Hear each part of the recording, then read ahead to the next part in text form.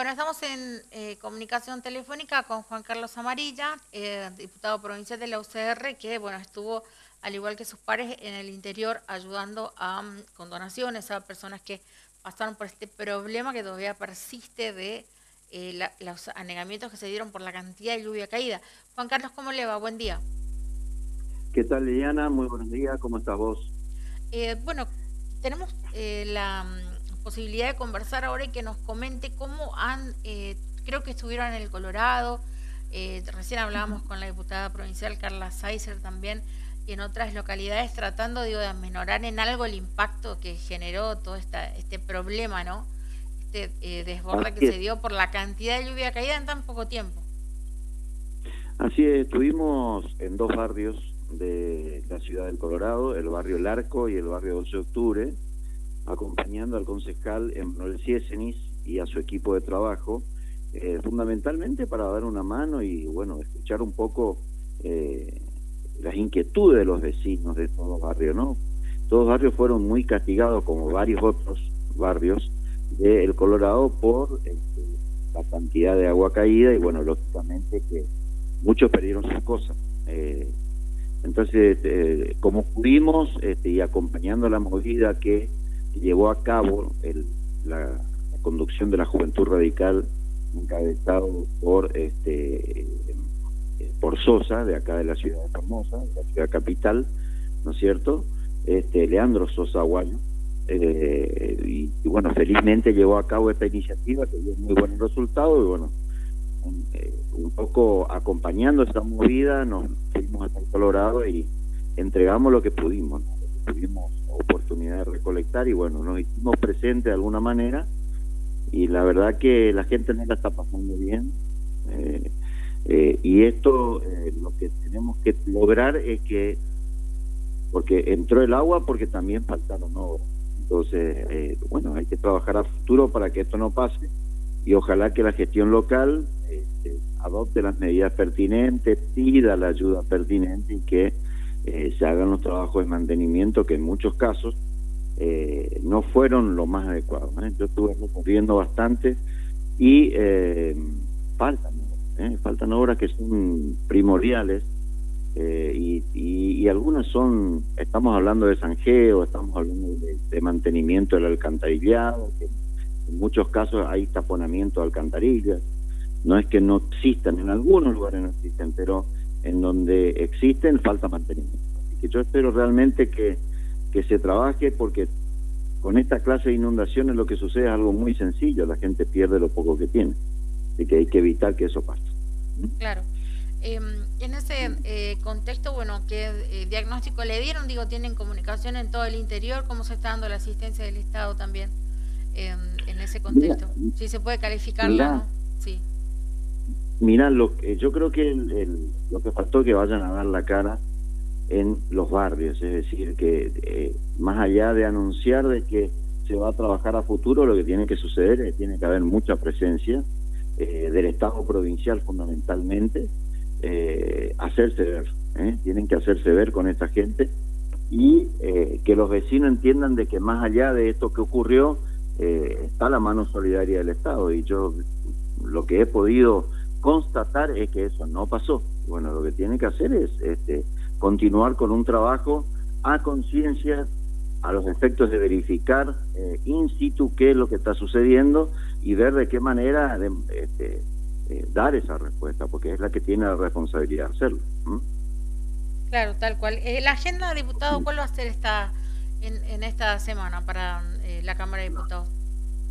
Bueno, lo más eh, lo más importante que va a suceder en esta semana, por lo menos de nuestro bloque, es nosotros vamos a insistir eh, con la presencia del ministro de la Producción en la legislatura, porque se ha reunido el número reglamentario, se han hecho las presentaciones pertinentes y eh, no se ha tratado hasta ahora el proyecto de resolución que nosotros hemos presentado para hacer la invitación pertinente al ministro para hacerse presente en la legislatura eh, fundamentalmente, eh, ¿cuál es el tema? Bueno, el tema es la, falta de asistencia a, los pequeños y medianos productores de la provincia. Este es el planteo que nosotros venimos realizando y que se sustenta básicamente en un instrumento que el, propio gobierno provincial ya dictó, que es la declaración de emergencia, que fue tramitado en el orden nacional, eh, su homologación, homologación que ya fue este, realizado, pero faltan los recursos, es decir, falta el dinero para asistir. Nosotros lo que hemos planteado en este sentido es una asistencia de manera directa a los a los afectados. Hay, y hay afectados de todos los órdenes, pero en el caso del norte, eh, que nosotros hemos podido constatar en el norte de la provincia, la afectación es este, muy grande. Estamos hablando de eh, un 60, 100%, 80%, eh, depende del, lugar. Y hay que hacer un trabajo, si se quiere, de un relevamiento donde tienen que participar las entidades representativas del sector. Y también hemos podido dialogar con los productores este, de Villa 213 eh, y, quizás algunos problemas son coincidentes, eh, los planteos quizás este, son diferentes, pero hay una afectación que este, eh, lo que hay que hacer, lo que tiene que hacer el Estado provincial es escuchar y de, y de esa manera definir también de qué forma puede cooperar el Estado provincial para hacerse ver con, con los productores que, que perdieron todo su todo o gran parte de su producción producto de la sequía, ¿eh? en algunos casos de las heladas otras, de las tormentas otras, es decir, tuvimos muchos problemas y que no nació ahora pues, únicamente, ¿eh? sino que hay productores que desde hace tres años no le están pasando bien. Entonces, este, esperamos nosotros que esas precisiones nos las dé el ministro en eh, una interpelación que venimos solicitando y vamos a insistir en esta semana. En comisión lo vamos a hacer mañana. Eh, hay algunos legisladores eh, que van a quedar a, este, a hacerles el planteo, otros nos vamos a ir al norte porque lo que va a suceder es que hay una hay un tractorazo que está convocado a las 16 eh, a las perdón a las a las 10 de la mañana en eh, Neinet. Vamos a hacernos presente allí y el jueves en la sesión vamos a volver a plantear eh, este tema eh, sobre tabla para que sea tratado como corresponde y que eh, se dé cumplimiento a la Constitución, porque no es otra cosa. La Constitución prevé este mecanismo y prevé un número. Y ambas cosas, es decir, está la presentación y están los números. Claro. Bueno, para cerrar, si bien no es economista, nos interesa su opinión. Estamos hablando ya de una inflación general del 6,7%. Estoy leyendo los informes acá, dice se acumuló un 16 como a un por ciento en tres meses eh, y sigue subiendo, ¿no? Eh, ¿qué, opinión le merece todo esto?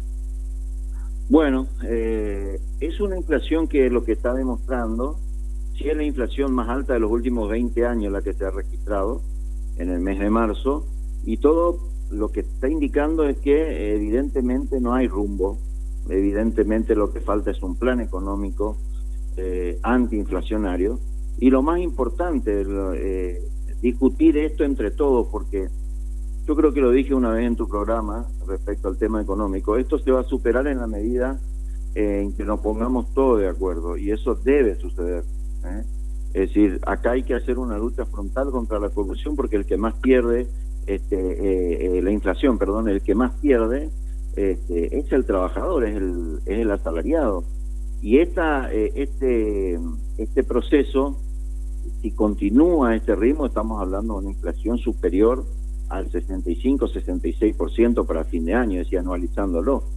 Y eso sí que es de extrema gravedad porque desaparece el crédito del todo, eh, que es esencial para que una economía eh, funcione, y por sobre todas las cosas, los aumentos otorgados, por ejemplo, acá en Formosa, quedan absolutamente devoradas por la inflación.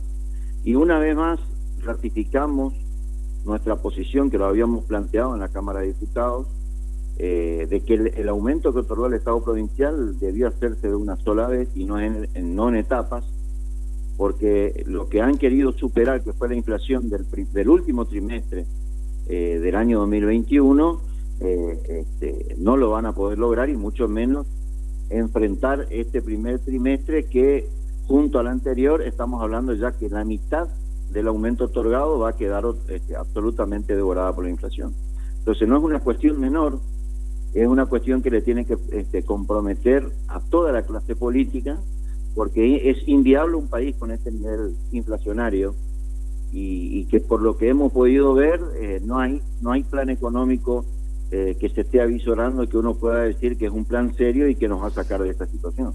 Claro, bueno, gracias por la comunicación, diputado, que tenga un buen día. Al contrario, al contrario, queda tus ratas órdenes como siempre, Liliana. Un abrazo grande.